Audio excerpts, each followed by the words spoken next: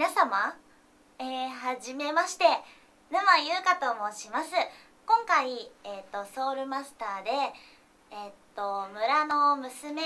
村の少女、えー、武器屋のお姉さんとえっ、ー、ともじもじした恥ずかしがり屋の妹の女の子の役をやらせていただきました。